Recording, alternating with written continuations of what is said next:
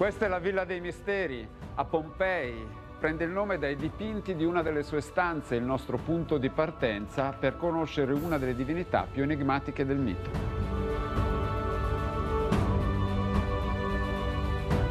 Ecco la stanza dei misteri che dà il nome alla villa. Lungo i lati si snoda il racconto di un rito sul cui significato ancora si dibatte. Tutto comincia con un bambino nudo in piedi che legge un rotolo di papiro circondato da donne. E poi ci sono scene di musica, di danza, di violenza, di paura e di conforto. Ci sono figure femminili umane e figure soprannaturali, satiri, sileni, una panisca, cioè un demone agreste che offre il suo seno a un capretto per allattarlo. Al centro c'è un dio e qua di dubbi non ce ne sono, è Dioniso che se ne sta sdraiato ad abbracciare la sua sposa Arianna, il cui ritratto è perduto.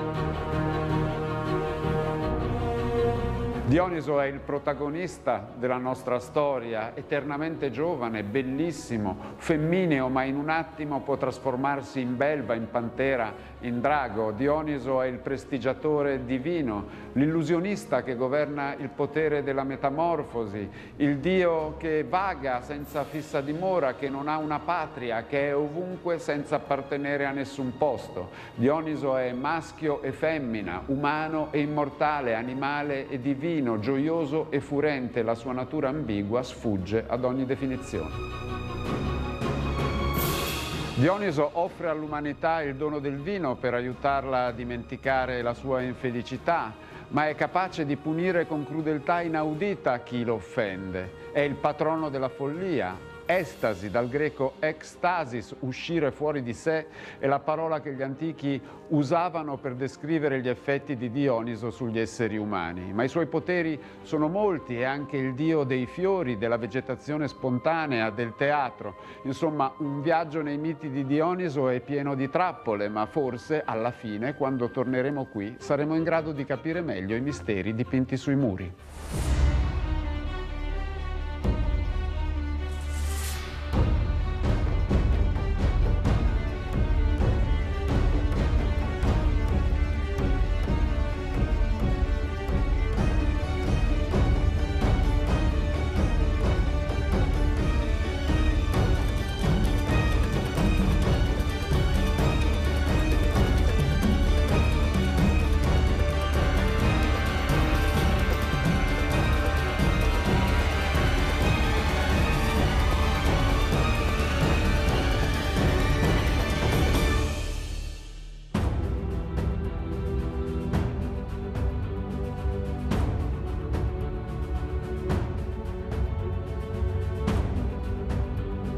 Questo è il teatro greco di Siracusa e loro sono gli allievi dell'Accademia d'Arte del Dramma Antico di Siracusa che stanno provando gli spettacoli della stagione estiva in allestimento. È anche grazie a loro che questo posto resta vivo dopo millenni ed è l'ambientazione ideale per iniziare il nostro viaggio alla scoperta dei miti di Dioniso, il dio che è l'inventore del teatro. Il punto di partenza è la sua nascita che come sempre quando si parla di lui unisce due estremi perché quella nascita è al tempo stesso una catastrofe e un miracolo. Padre di Dioniso è Zeus, il re degli dei. La madre invece è una ragazza umana, si chiama Semele ed è la figlia di Cadmo, re e fondatore di Tebe, l'eroe mitico che porta in Grecia la scrittura. E tra l'altro Cadmo avrà pensato che cosa ho fatto di male, visto che Zeus prima gli rapisce la sorella Europa e poi gli seduce la figlia. Fatto sta che Zeus si unisce a Semele senza rivelarsi. Era però la moglie gelosissima di Zeus, vuole vendicarsi e per farlo incomincia ad insinuare nella mente della ragazza un tarlo. Chiedigli di manifestarsi in tutta la sua potenza, le dice, perché tu conosca quale piacere è fare l'amore con un dio. Semele ci casca e Zeus la accontenta.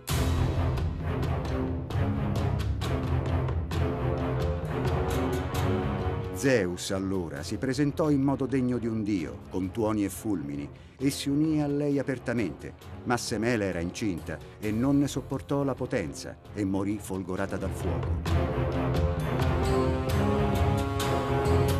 La madre incinta muore fulminata e c'è chi ha visto in queste circostanze terribili dell'ultima unione tra i genitori di Dioniso un'allusione alla follia che folgora i pensieri e trasporta altrove. Come altrove viene trasportato il feto, Zeus lo raccoglie dalle ceneri della madre e lo cuce dentro la sua coscia, un grembo segreto, dicono le fonti, in cui Dioniso verrà nutrito fino alla nascita.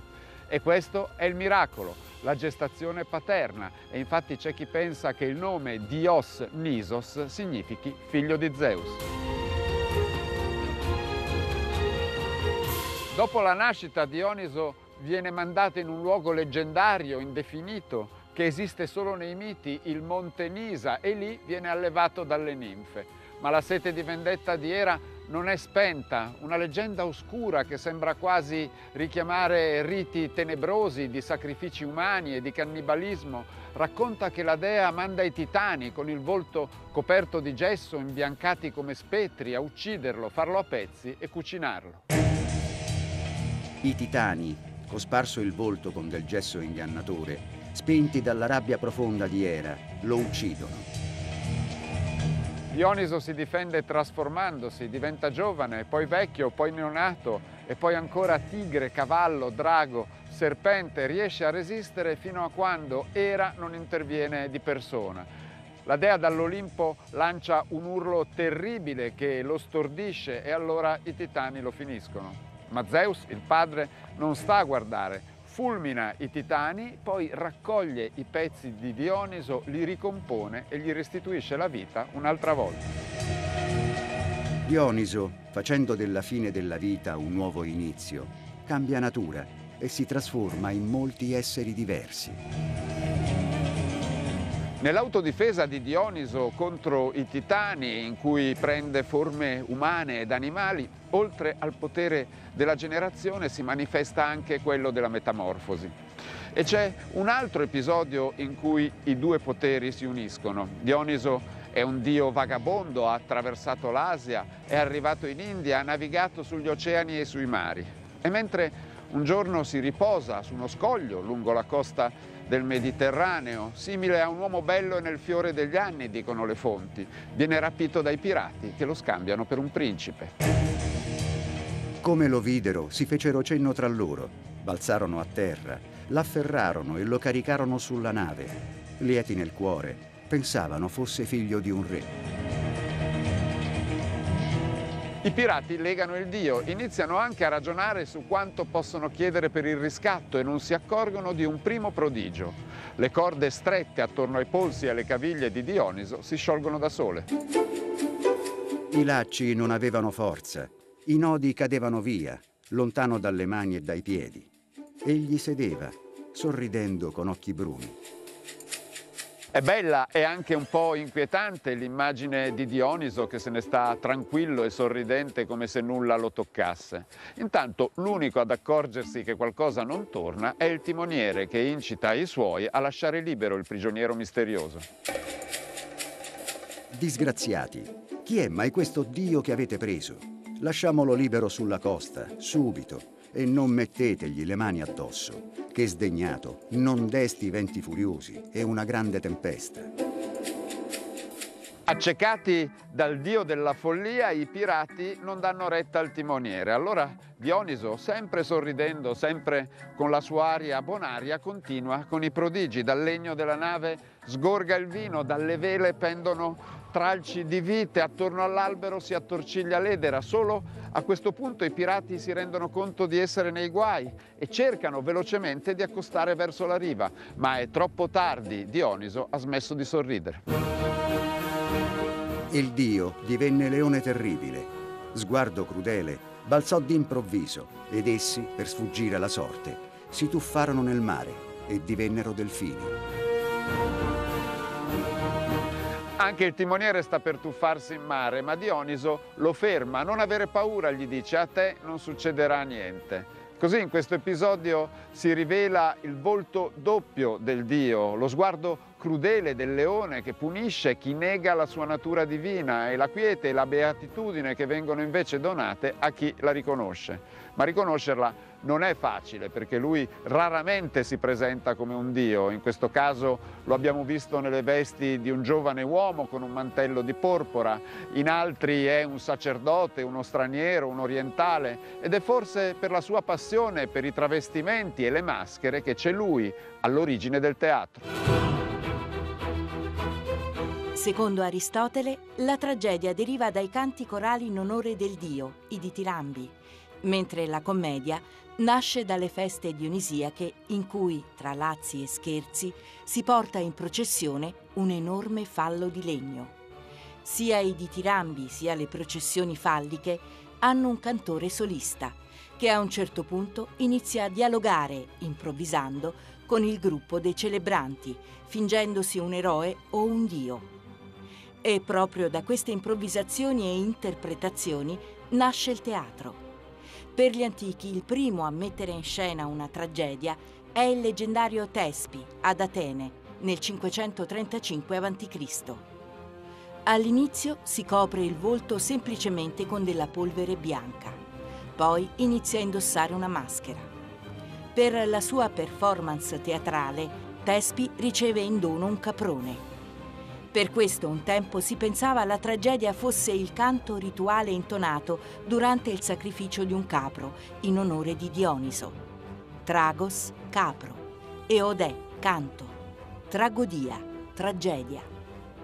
Ad Atene gli spettacoli teatrali si allestivano durante le feste dedicate a Dioniso, le grandi Dionisie, che richiamavano pellegrini e spettatori da tutta la Grecia. Dopo i sacrifici, la processione e i canti religiosi in onore del dio iniziavano gli spettacoli, durante i quali Dioniso era sempre presente. Il coro danzava intorno al suo altare e il sacerdote sedeva nel posto d'onore. Per una coincidenza del destino, l'ultima opera dell'ultimo grande poeta tragico ateniese Euripide è dedicata proprio a Dioniso, il dio fondatore del teatro, anzi lui stesso ne è il protagonista. Si chiama Le Baccanti, cioè le seguaci di Bacco, un altro nome del dio. Per raccontarla abbiamo cambiato scenografia e siamo venuti nella latomia dei Cappuccini a Siracusa. Le latomie erano cave di pietra, oggi questa è una selva rigogliosa in città e con le sue rupi a picco, le sue grotte, i suoi anfratti, i suoi lembi di foresta aiuta a immaginare le montagne selvagge in cui si radunano le baccanti invasate da Dioniso.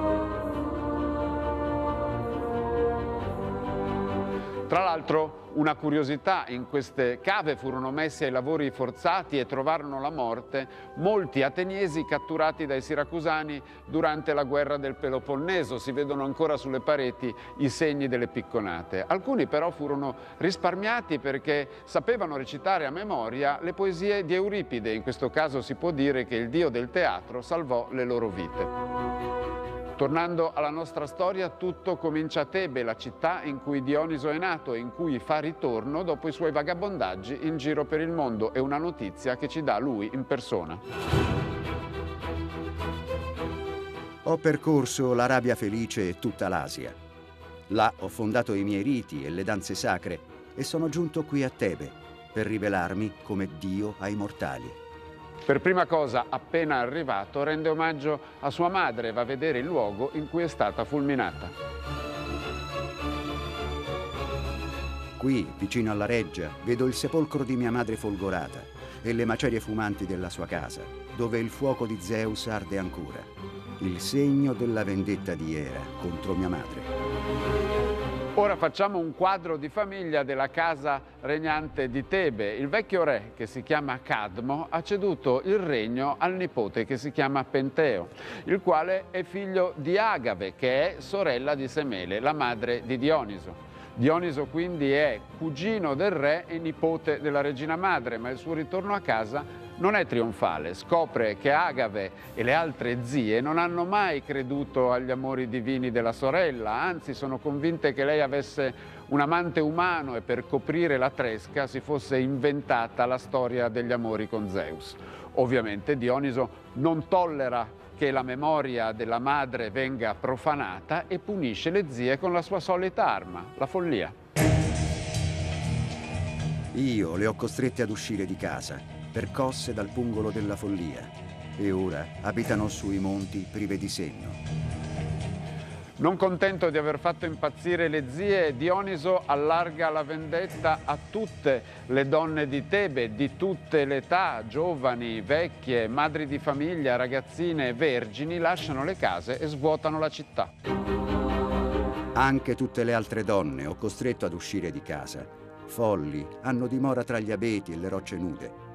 Anche se non lo vuole, questa città imparerà a conoscere i riti segreti di Bacco. Intanto il re Penteo viene a sapere che un giovane bellissimo coi riccioli biondi e profumati venuto dall'Oriente ha invasato le donne tebane, loro lo hanno seguito nei boschi, hanno lasciato in casa i bambini a piangere, passano il tempo invece ad allattare lupacchiotti e cerbiatti. Il re pensa che il santone con la scusa dei riti misteriosi voglia solo sedurre le donne di Tebe e ordina così di arrestarlo e metterlo a morte. Seguite questo straniero che sembra una ragazza, che inietta una strana malattia alle nostre donne e contamina i nostri letti.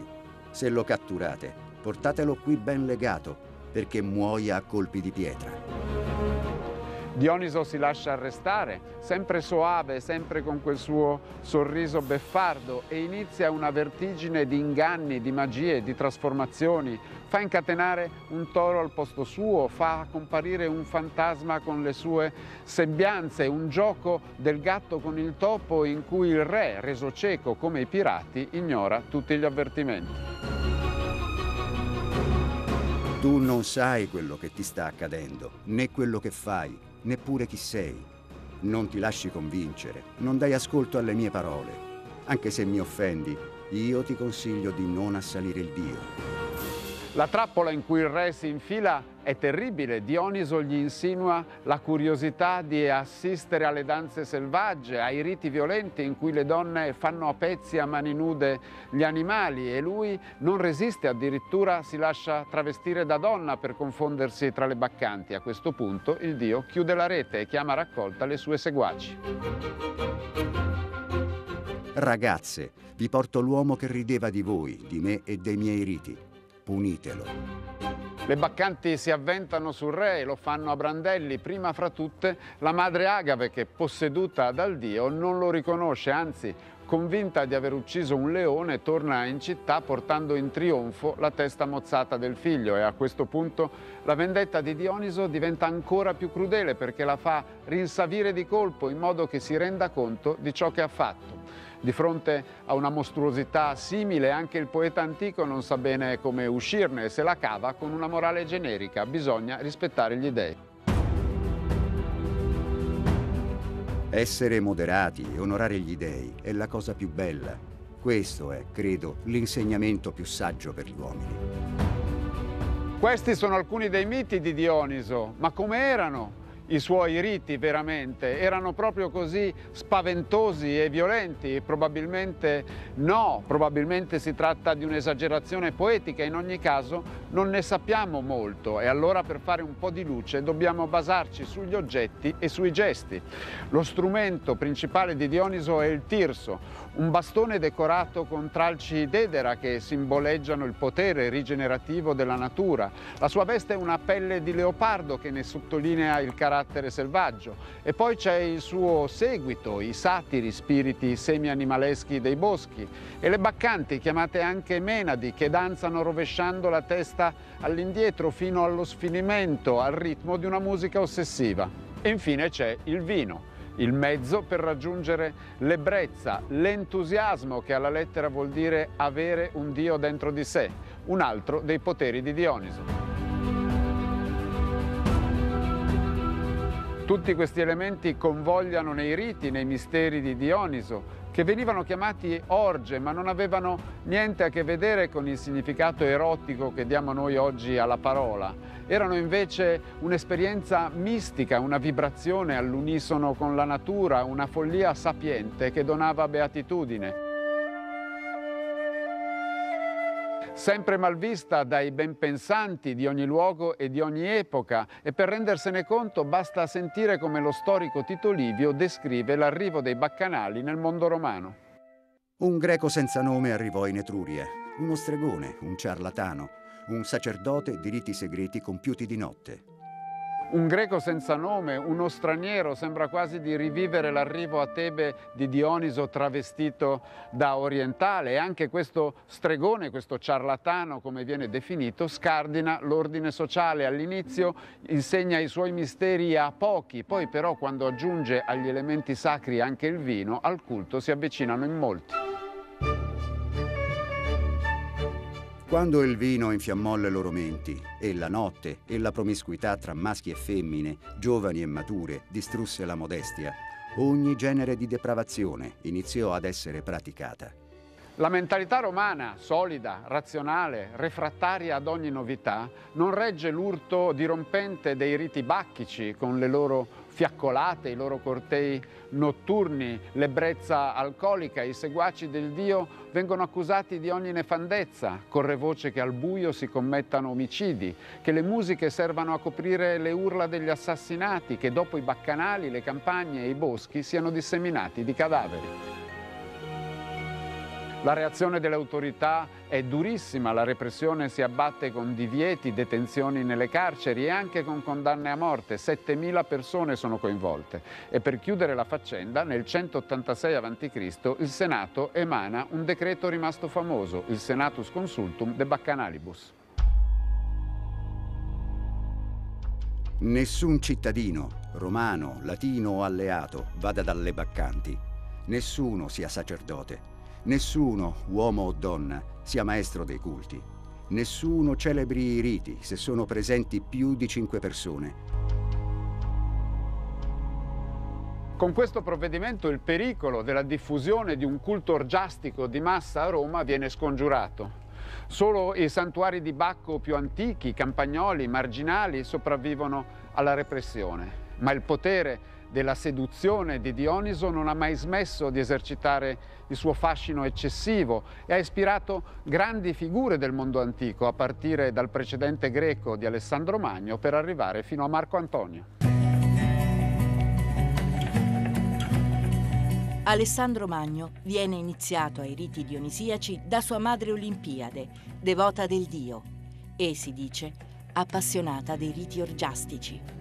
I punti di contatto tra Alessandro e Dioniso sono molti.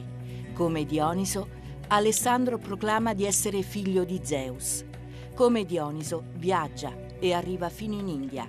Secondo alcuni, la sua intenzione era proprio ripercorrere le orme del dio nei suoi vagabondaggi in Asia e Oriente. Per celebrare la vittoria sul leggendario re Poro, Alessandro mette in scena un corteo dionisiaco, come aveva fatto il dio quando con il suo esercito di satiri e baccanti aveva sconfitto gli indiani. Marcantonio veniva chiamato Nuovo Dioniso per il suo stile di vita eccessivo, un'identificazione tra lui e il dio che non gli dispiaceva. Entrò ad Efeso preceduto da donne vestite da baccanti e uomini e ragazzi vestiti come satiri. La città era piena di musica e la gente lo salutava come Dioniso che dona la gioia. Ad Alessandria, nei dipinti e nelle statue, si faceva raffigurare insieme a Cleopatra come Dioniso, mentre lei era Selene o Iside. La fusione su cui Marcantonio insiste tra se stesso e Dioniso Bacco non gli porterà bene. In Oriente, terra di misteri, ha senso, ma a Roma no. Ottaviano, il futuro Augusto, la userà assieme al matrimonio con Cleopatra per screditarlo, fargli la guerra e sbarazzarsene.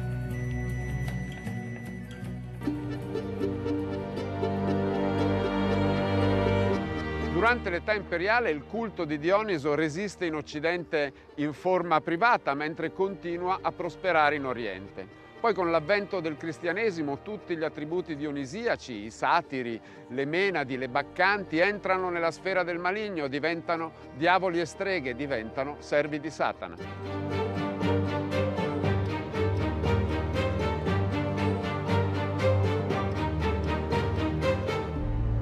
Umanesimo e Rinascimento recuperano la figura di Bacco Michelangelo ne scolpisce un ritratto bellissimo in cui emerge il suo aspetto androgino, dolce ed inquietante. Lorenzo il Magnifico scrive la canzone di Bacco, quella famosissima, quella del quant'è bella giovinezza che si fugge tuttavia, e molti altri artisti, tra cui più tardi Caravaggio, dipingono il dio del vino.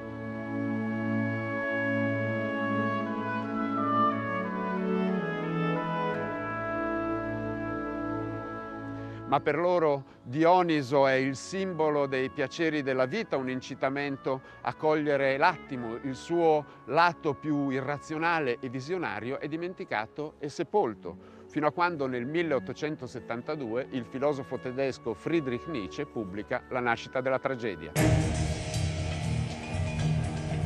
Nietzsche rimette in circolo nella cultura occidentale l'idea dell'esperienza dionisiaca, dell'estasi, dell'andare oltre la ragione all'inseguimento di nuove forme di percezione. Un'idea che attraversa tutto il XX secolo e che ha sedotto i personaggi più imprevedibili come Jim Morrison, leader dei Doors, band californiana. Jim Morrison era sinceramente convinto che i suoi concerti fossero orge dionisiache rinnovate, in cui esplodeva l'energia della vita, in cui alcol e droghe spingevano verso nuove dimensioni della conoscenza, in cui batterie, chitarre elettriche e tastiere si sostituivano ai cembali e ai flauti, un'edizione contemporanea dei misteri di Dioniso. Una delle sue canzoni manifesto è Break on through to the other side, che significa appunto fa irruzione dall'altra parte, dall'altra parte della mente, della ragione, della conoscenza. You know the day destroys the night, night divides the day. Try to run, try to hide, break on through to the other side, break on through to the other side, break on through to the other side, yeah.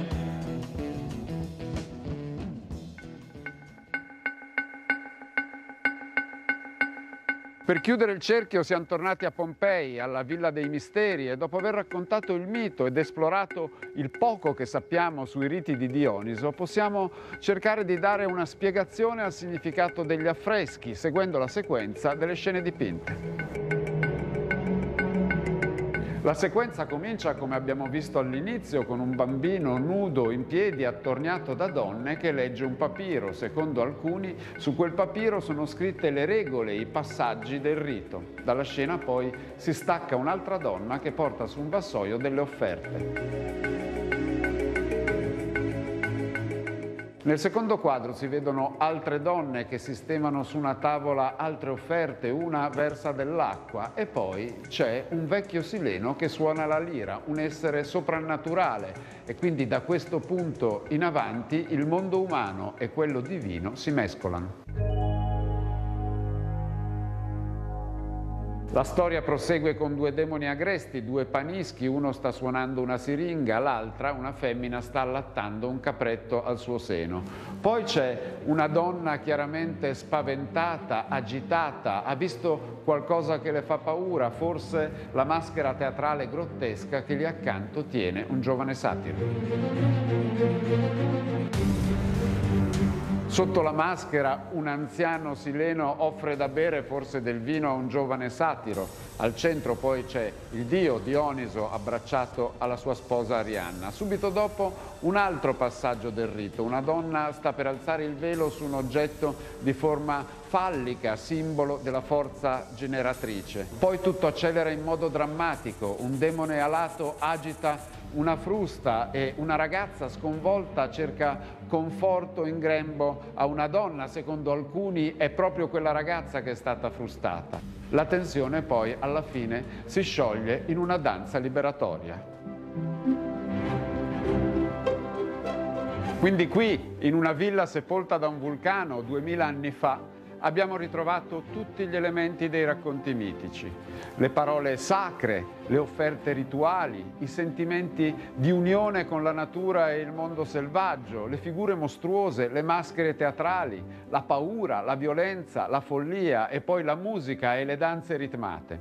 E alla fine di questo percorso accidentato la serenità di una nuova armonia, il dono che il Dio, adagiato in grembo alla sua sposa, concede a chi si abbandona a lui senza riserve.